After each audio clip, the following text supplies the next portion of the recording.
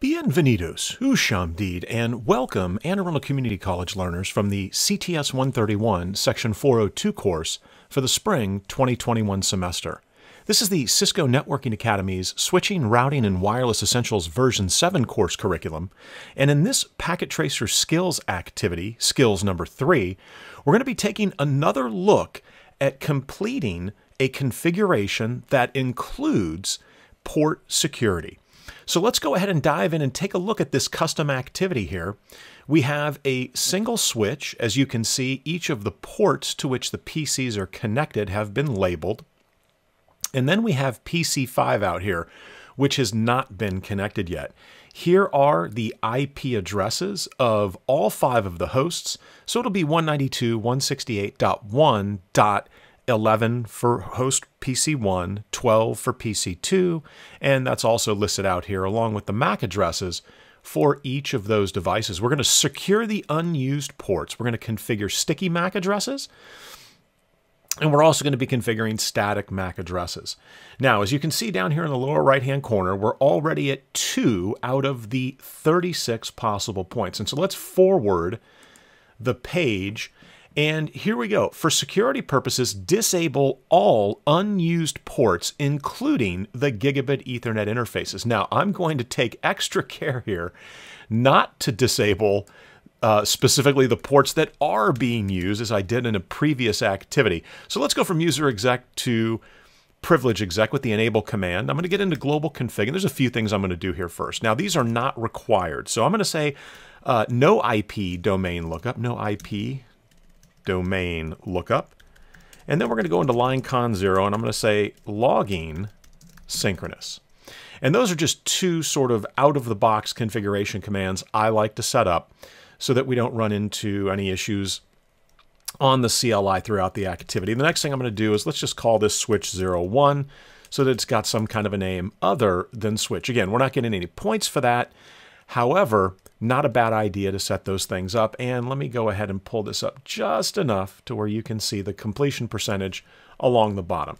So how do we see the ports that are currently in use as well as the ones that are not in use? Well, we say do show IP interface brief. And you can see here that Fast Ethernet 0, 1, 2, and 3 are in use, and then all these other ports are down and then fast Ethernet 024. And so let's go ahead and we are going to disable all unused ports. So we're going to use that interface range command. We're going to say fast Ethernet 04 to 23 because fast Ethernet 024 is being used, and then gigabit Ethernet 01 to 2. And that puts us simultaneously into the configuration mode for all of those ports. And this is where we're going to simply say shut down. And you can see we got some points for that. And so uh, verify the correct ports have been administratively shut down by issuing the show IP interface brief command. Now it says notice in the topology switch ports fast Ethernet 01 through 3 and 24 are in use and should remain active and up. Let's click the right arrow and move on to the next part of this activity. So configure a static MAC address. So on the interface for Fast Ethernet 01, make the following configuration changes. We're going to change uh, permanent static access or configure permanent static access mode. We're going to enable port security. And it looks like we're using VLAN 1 for everything here. In fact, if I was to say do show VLAN brief, and that's what we see, is that everything is in VLAN 1, so there's no need for the switch port access VLAN command. We're simply going to hard code it as a static access port. We're going to enable port security and we're going to configure a static MAC address for PC1. So how do we get the MAC address for PC1? Well, it's actually listed out right here. If it wasn't listed out in the activity, in the real world, it might not be listed out. You can come in with an ipconfig forward slash all and let's validate it, right? Not a bad idea to check. Let's make sure that there's not a typo in the activity and that maybe Packet Tracer hasn't changed the MAC address for whatever reason. And we can see here that everything is good to go. So let's pull back up switch one, and I'm going to bring this down just a bit here because we don't need all of that space, and we can also see what's going on here. Let's get into Fast Ethernet 01. Now, configure it as permanent or static access mode. So switch port mode access. Now, remember, before I run this command, and this is actually something that's very good to remember, if I said do show interface fast Ethernet 01 switch port, we'd see a lot of very interesting information here, specifically the administrative default mode, which is a dynamic trunking protocol default mode on current Cisco switches, which is dynamic auto. And what that means is if I plug something into this switch port, fast Ethernet 01, and in fact, it applies to all switch ports on this switch right now. By default, if I plug something in that is not a switch that has dynamic desirable configured on the other end, or it is configured hard coded as a static trunk port with that switch port mode trunk command, then it's going to fall back and the operational mode will be access. But we don't want to leave that to chance. And we know that a PC is plugged in here. So that's why we would say switch port mode access. Now, if I rerun that do show interface fast Ethernet 01 switch port command, now take a look at the operational mode as well as the administrative mode. So administratively, we hard coded it as static access. It's no longer set to dynamic auto. That was the default. So now it's static access and look at the operational mode. Still static access, but it will always be static access because we've hard coded it to static access. Now, we're in Fast Ethernet 01 and it says enable port security. Now, remember, switch port port security. This command must be run by itself on any port on which you want port security to function. That's the command that activates port security. Now that it's activated, I can go in and configure multiple other commands. And let's take a look here with the switch port port security. I can configure the aging time. I can configure uh, the MAC address, uh, how we're going to learn the MAC addresses, whether it's going to be sticky or whether it's going to be hard coded, static.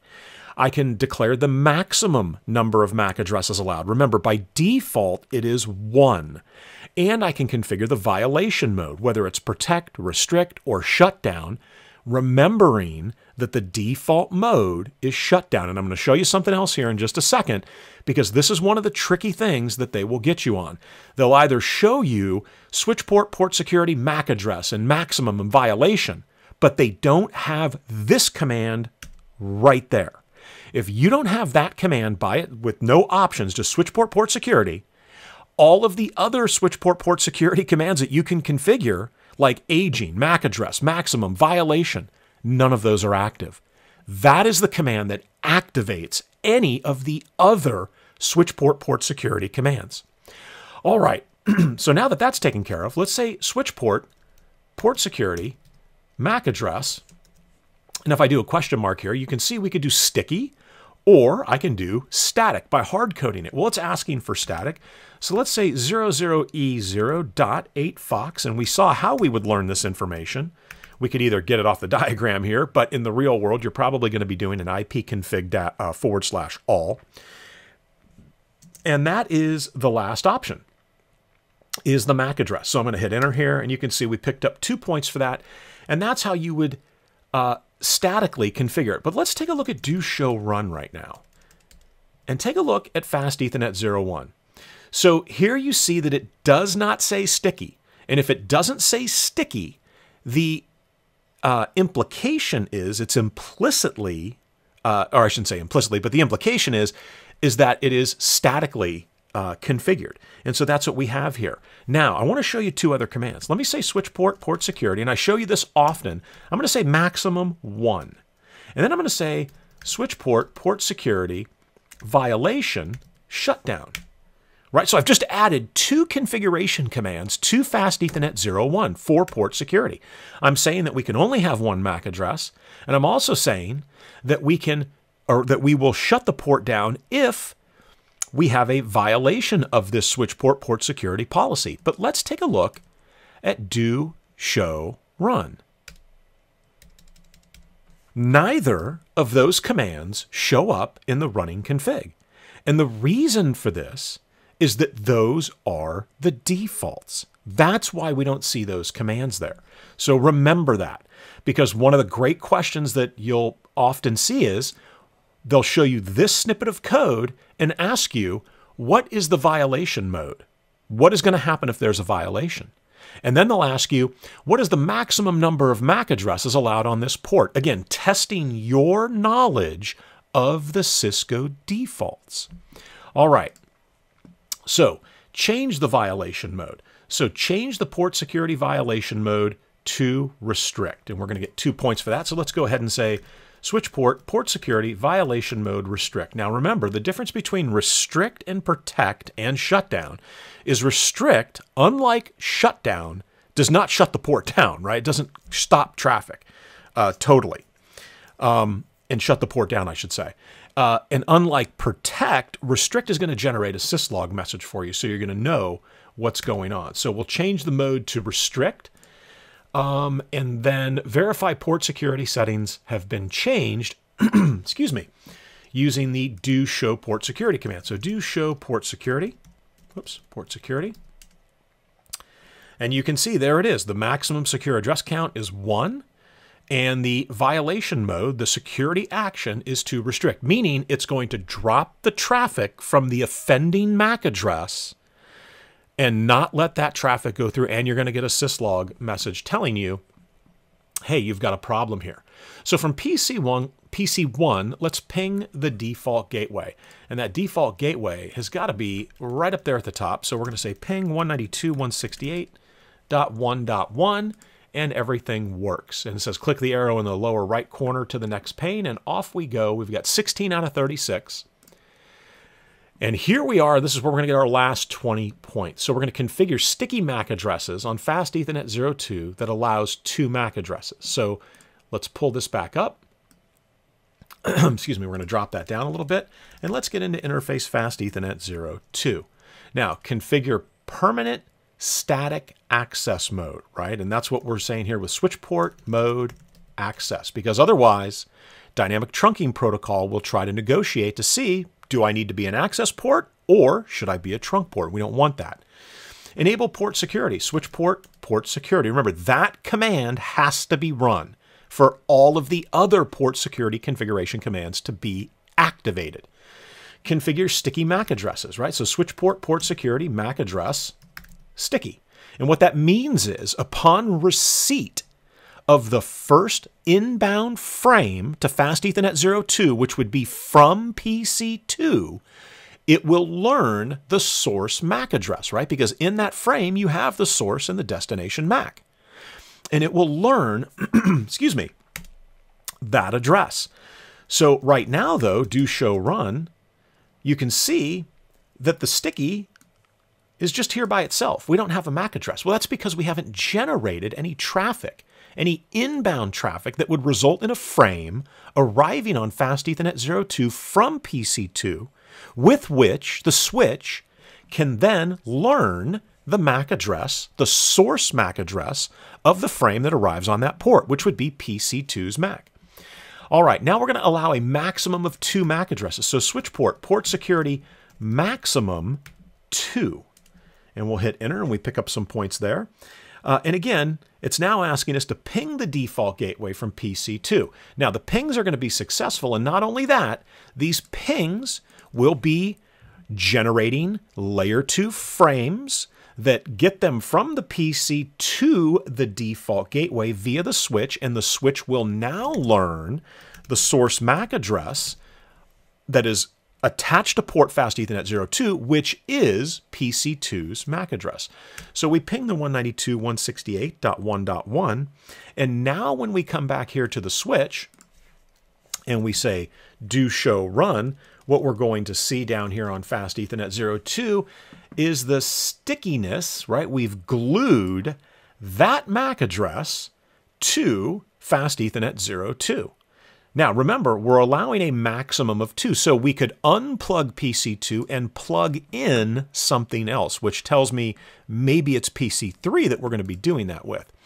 All right, so we're going to configure sticky MAC addresses on Fast Ethernet 03 that allows only one MAC address. So let's jump on to Fast Ethernet 03, which is here, right, that comes out here to PC4. So let's click on the switch and let's go ahead and I'm going to slide this over so that we can actually see what we're doing here. The instructions, interface fast Ethernet 03. So we're going to say switch port mode access, and then we're going to enable port security. So switch port port security. You have to run that. I cannot stress this enough, right? If I'm the voice in your head when you're taking that CCNA exam or whatever the exam is that reminds you, hey, that's right. You have to have that command with no options in order to enable all of the other switch port port security commands. If I'm that voice in your head, then I've done my job. So switch port port security, and we're going to configure sticky MAC addresses, right? So we're going to say switch port port security MAC address sticky. Now, we probably shouldn't see anything there because we haven't generated any traffic. So let's say do show run, and let's confirm that. Uh, and did I not get into Fast Ethernet 03. Hold on, I thought I was in Fast Ethernet 03 there. Oh, and there you have it. I was in Fast Ethernet 02, and so let's go back here to Interface Fast Ethernet 03, the, the bonus lab, we'll call it. So switch port, port security. Uh, so it's a dynamic port, right? So switch port, mode access. We got to hard code it, and it says it's dynamic because of the dynamic trunking protocol running on that port. So we're going to override dynamic trunking protocol DTP and make it an access port by hard coding it. We're going to say switch port port security and then switch port port security MAC address sticky. And now, if I say do show run, now we have what we're looking for. Now here's what's interesting, right? It says configure permanent static address mode enable port security, configure sticky MAC address, which we've done. Now ping the default gateway from PC4. So we'll come to the desktop here and let's say ping 192.168.1.1. And we're running these ping commands in order to generate frames that will show up on our switch from these source hosts, providing a source MAC address with which port security configures auto magically with sticky the address that's going to be used here. And I'm looking for my do show run command. There we go. So we'll come down here to fast ethernet 03 and there it is. And if we validate that 9 Baker 56, oops, sorry, 9 Baker 56, you can see we've got a match. We're only two points away here from being done. So let's see what else they're asking for.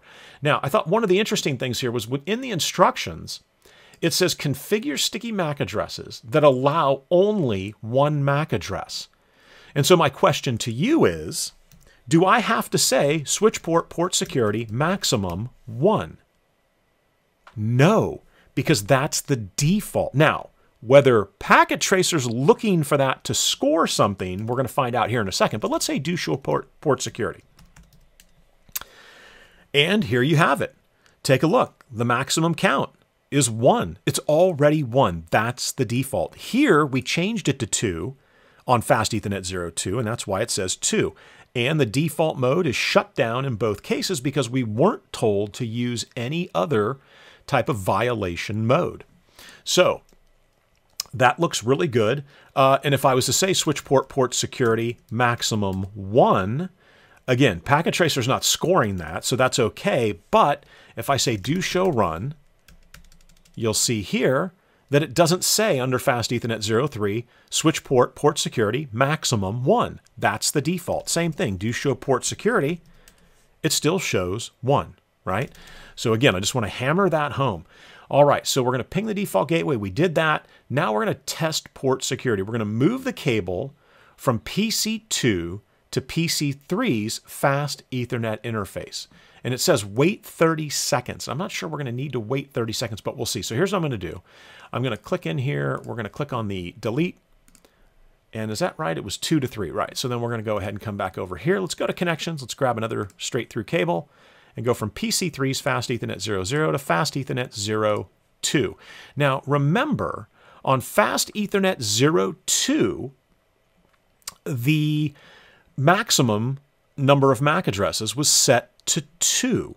So we should be just fine. Now, well, let me see if I hit the fast forward arrows here. Let's do the fast forward arrows so now we're kind of waiting around.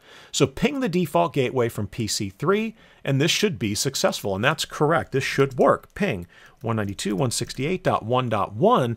And what we should also see now when we come to the switch, when I say do show run, we should see that we have reached the maximum number of MAC addresses. We're at two right? But that's okay because again, we're under the ma- or we're less than or equal to the maximum number of MAC addresses allowed, which is two. And that's why traffic on the port continues to flow and we're not having any issues. Um, so use the do show running config. Oh, wow. They actually gave us points for that. Okay. So we got two points for that and that kind of wrapped things up there. All right. So move the cable from PC4 to PC5's fast Ethernet interface, wait 30 seconds. Well, we know we don't need to wait 30 seconds. We're going to get rid of the cable on PC4.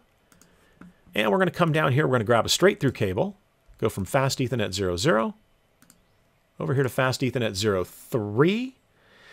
Uh, and the port will shut down since the default maximum allowed addresses is only one, since the MAC of PC5 doesn't match. And let's take a look at the, and it says we're going to get a one point for that, but we've already got 36 points, so I don't think we're going to see a point for that. Let's do the fast forward arrows here. Whoops, let's do our fast forward arrows. Let's get the switch up here, and let's say, uh, sorry, do show port security. And we don't see a security violation count here, but why not? Why do we not see that? There's a reason we don't see that, if you remember from the other activities. But rest assured, that port will get shut down. So if I say do show run, we come down here and you can see it still only shows a single MAC address, and that's PC4's MAC address. Well, why hasn't that port generated a violation for us? Exactly, because we haven't generated any traffic. So the port doesn't know that there's a new PC connected, but it will shortly when I say ping 192.168.1.1 and take a look at what happened here. Those arrows, I didn't say shut. I didn't shut the port down on the switch, right? They went red. And the reason they went red, do show port security, is because the violation mode is the default of shutdown. And there is our security violation count. And it took one frame and one frame only. So when we had restrict, the security violation count incremented upon receipt of every frame with a source MAC address that was not allowed. With the shutdown violation mode, upon receipt of the very first frame, it is game over, right? And in secure environments, and especially government environments, and the, specifically those three letter agency government environments in a lot of cases, this is probably going to be the mode. Because if you've got a frame that shows up on a port that is not, that as, as the source MAC address, that is not what it should be, you probably want that port to be shut down, right? So that you can investigate things. And so here we see that it is shut down. Now, if I say show port security, I can also say interface, fast Ethernet 03, and take a look at the port status, right? Secure shut down. The violation mode is shut down, right? So it's totally shut down. But let's take a look at what, let's look at this here, right? And let's actually see, before I pop off of this screen here, what about a show IP interface brief? What does that show for Fast Ethernet 03? Now you'll notice I said it shuts the port down, but it's not administratively down. It's just down. So remember that. It's not, you know, you say that I say that it shuts the port down, but it's not administratively shutting the port down. And the reason I want to show you that is because of this. So let's disconnect PC5, right? So you're the administrator, you figure out PC5 caused the problem, port security's on. So hey, that shouldn't be plugged in there. Maybe your junior Windows guy plugged it in or gal plugged it in there. And you say, no, plug PC4 back in. We'll take a look. The port is still down. What if I ping? Does that bring the port back up? And this is an important semantic here of port security. So I plug the correct PC back in. In fact, let's take a look at do show run, and let's, oops, sorry, show run, and let's look at fast Ethernet 03. That is the MAC address for PC4. So why, if it's not administratively down, why is it still showing red here? And that's because with port security, you need to go into the port, right? You manually need to go into the port for this use case here, right? You go into the port, Fast Ethernet 03, and you say shut, and you administratively shut it down, and then you say no shut. So you have to knowingly, intentionally bring the port back online by first shutting it down and taking it offline. All right. So that takes care of this activity. I think we're still 36 out of 36. And hopefully this has given you a much better feel for how Cisco's switch port port security feature works. Again, remember those semantics. Know the defaults, violation mode shutdown, maximum number of MAC addresses one, and know that you have to have switch port port security, that command under each port that you want port security to be running on. It is not enough to just have the options that you want. Switch port port security, aging time. Switch port port security, MAC address um, sticky. Switch port port security maximum two. You have to have switch port port security by itself, or all of those other switch port port security commands are moot. All right, guys, thanks so much for watching. Enjoy the rest of your weekend, and I hope to see you in the next video.